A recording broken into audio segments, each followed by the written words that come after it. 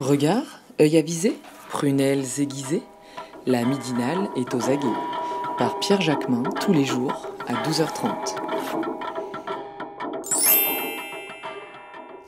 Bonjour François Piotet. Bonjour. Merci d'avoir accepté notre invitation. Vous êtes professeur de sociologie, vous travaillez sur le monde du travail, euh, sur les évolutions et même les transformations des métiers, sur les conditions de travail et vous avez aussi une expertise particulière sur le syndicalisme en France. On va y revenir, mais d'abord, vous aviez écrit ce livre en 2009 sur la CGT et la recomposition syndicale. C'était aux éditions du PUF, des PUF. Vous interrogez les pratiques syndicales, pourquoi est-ce qu'on syndique, qu'est-ce, qui suscite d'ailleurs aussi l'adhésion, comment fidéliser les adhérents? Quelle différence opérait justement entre ce monde syndical euh, des années 2000 euh, et celui d'aujourd'hui? Qu'est-ce qui a changé? Euh, c'était euh, la fin des années 2000. Euh, ce, qui a, ce, qui a, changé, c'est, ou plutôt ce qui a continué à évoluer, plutôt que changer radicalement, c'est les transformations du monde du travail et surtout les transformations de l'emploi. et alors les transformations de l'emploi dans deux sens, à la fois avec une me semble-t-il, une dichotomie croissante entre les emplois qualifiés et les emplois peu qualifiés, euh, le développement du tertiaire et euh, la, baisse des emplois industriels traditionnels et euh, la féminisation qui continue à croître et bien sûr la, précarité, enfin, les transformations de l'emploi euh, euh, à la fois avec euh, les CDD, les contrats courts de toutes sortes et, et, le chômage. Qui, qui, commence à peine à baisser, mais qui a plombé complètement les dix dernières années et qui pèse très lourd. Et ces évolutions-là, on peut les corréler avec un affaiblissement du syndicalisme en France?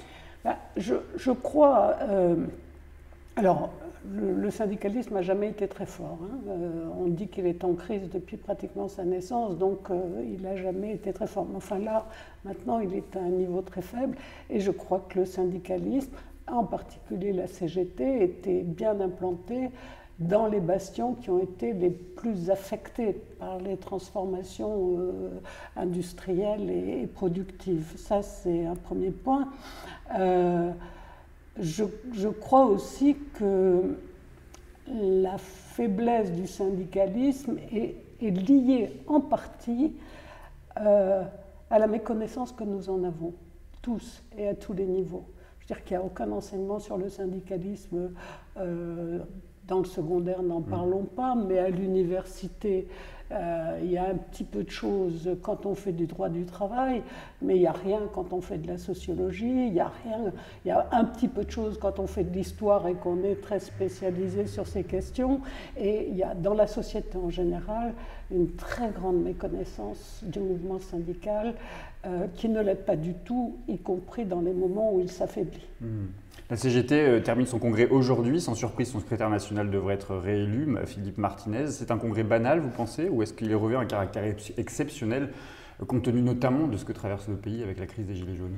Euh, ah, c'est un congrès, c'est un congrès important et difficile pour beaucoup de raisons, parce que depuis la succession de Bernard Thibault, la CGT connaît des problèmes appelons-les dans un terme horrible de leadership, hein, de, légitimité euh, euh, de ces leaders euh, qui, sont, qui peuvent être éventuellement contestés.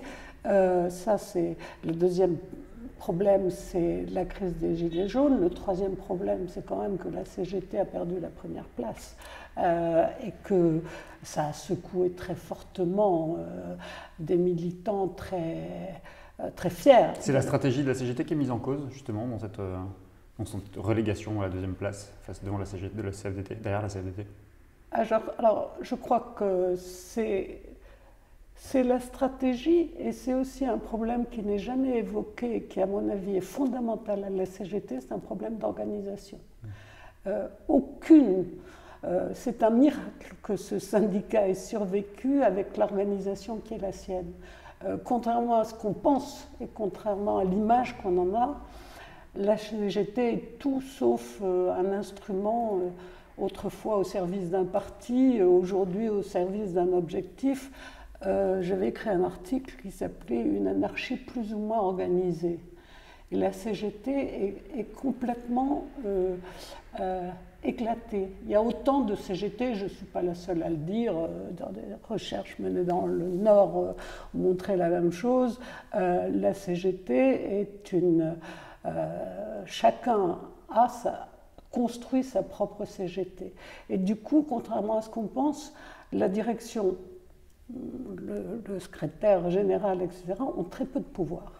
Et en particulier, très peu de pouvoir pour euh, euh, lancer euh, des initiatives, pour réformer l'organisation, pour l'adapter.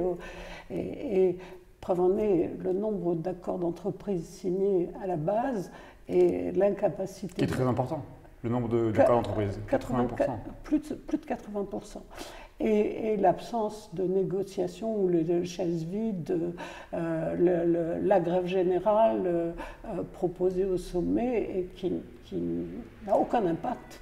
Alors ça a des impacts plus ou moins importants selon les fédérations, mais euh, c'est vraiment chaque fédération fait ce qu'elle veut, chaque UD fait ce qu'elle veut et surtout chaque syndicat fait ce qu'il veut, personne n'étant capable de donner une définition de ce qu'est un syndicat à la CGT.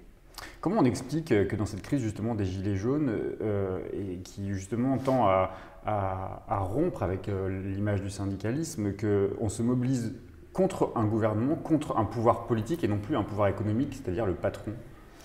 Alors, il euh, faudrait en savoir plus qu'on en sait actuellement sur la, la composition sociologique des Gilets jaunes, mais on, on, voit bien que c'est une colère qui est née contre une taxe euh, précise et, dit-on, les, 80 km/h, euh, mais c'est surtout une révolte de gens euh, qui ont un pouvoir d'achat très, très limité, très contraint et très.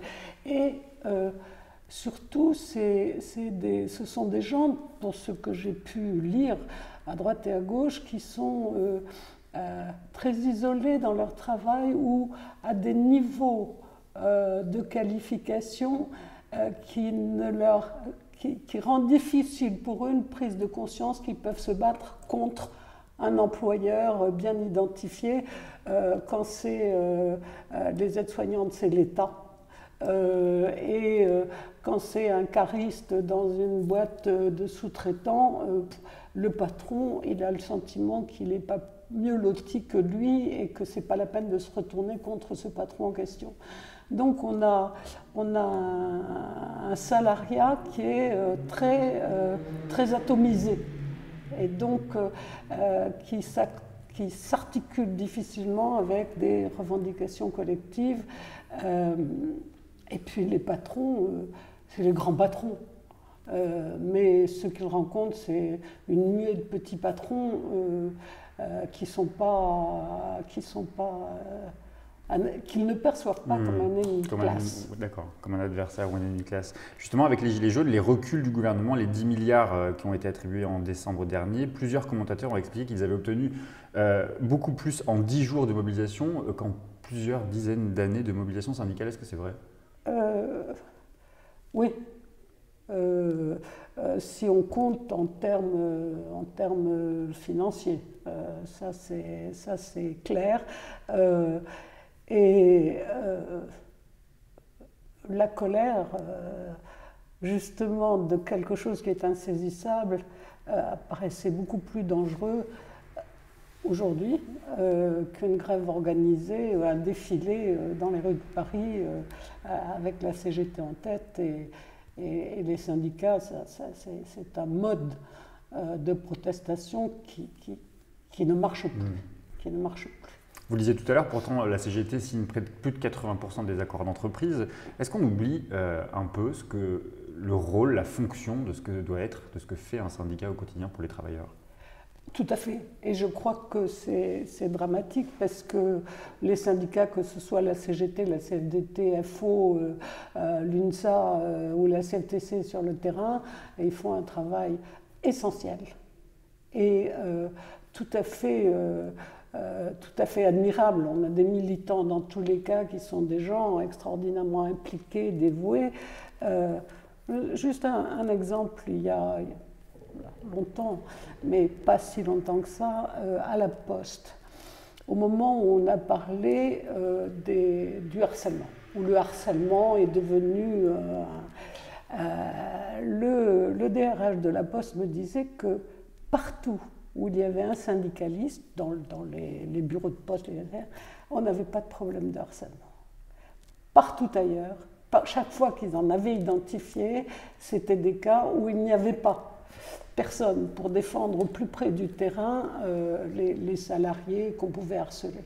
Donc euh, oui, sur, un sujet aussi euh, important, mais, mais centrale dans certains cas que celui-là, on voit bien que le syndicalisme est essentiel. Et puis euh, le travail que font les sections euh, sur le terrain est tout à fait, euh, tout à fait essentiel. Un mot sur la sémantique. On est passé, et ce n'est pas le fait d'Emmanuel Macron, c'était déjà le cas sous le précédent quinquennat, on est passé de la négociation, le rôle des syndicats, à la concertation, voire à la consultation. Qu'est-ce que ça dit aussi du rôle aujourd'hui des partenaires sociaux du point de vue du politique? Je crois qu'on a, c'est pas, un scoop, euh, on a des politiques qui savent pas, qui n'ont pas envie de faire euh, avec les syndicats. Euh, et je crois qu'ils ne les connaissent pas du tout, ou ils les connaissent mal. Ils ne connaissent que le sommet. Je veux dire, ils n'ont pas une connaissance approfondie des organisations syndicales, de leur histoire, de leur culture. Et ils, veulent bien leur demander leur avis mais euh, quant à négocier.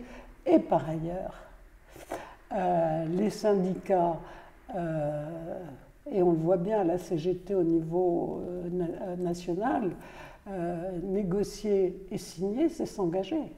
Le, signataire de l'accord s'engage à le défendre. Et c'est vrai pour certains des deux côtés. Ils préfèrent donner leur avis et ne pas s'engager plutôt que de prendre un, engagement qui est forcément un compromis.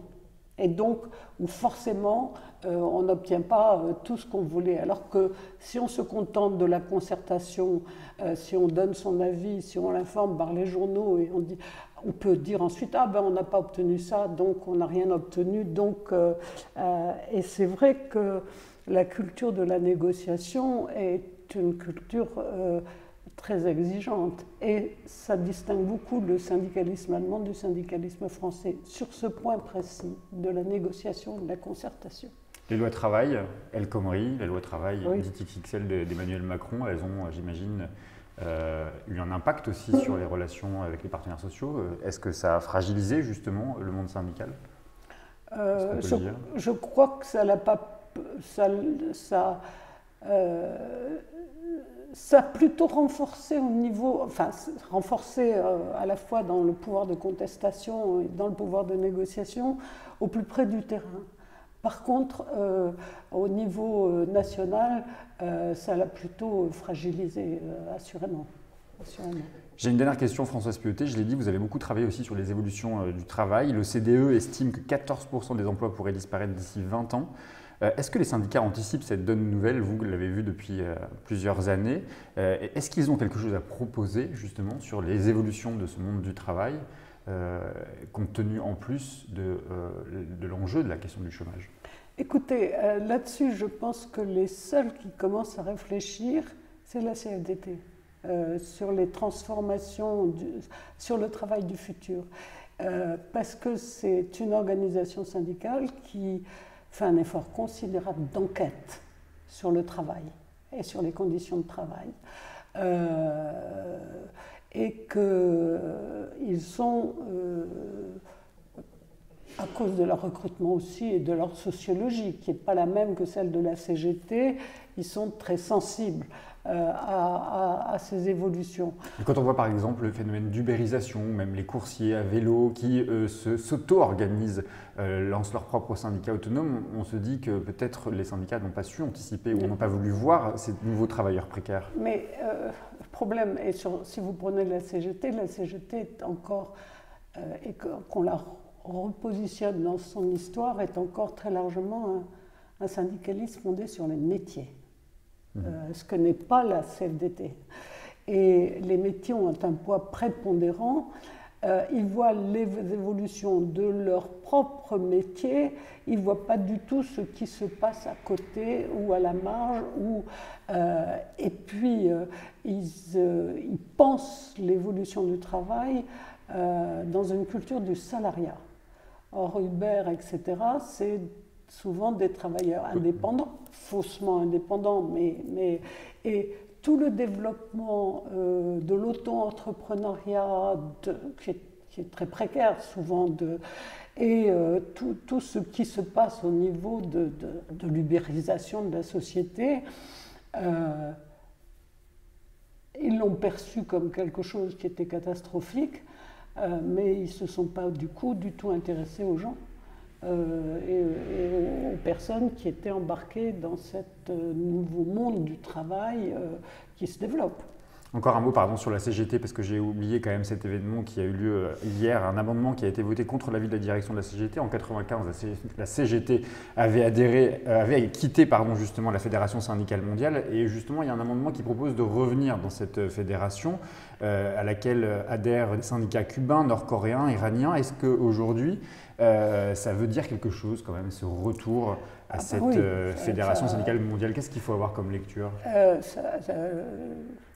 C'est la seule chose qui a réussi à faire sortir Bernard Thibault de son silence et de dire qu'il fallait quand même faire attention où on mettait les pieds.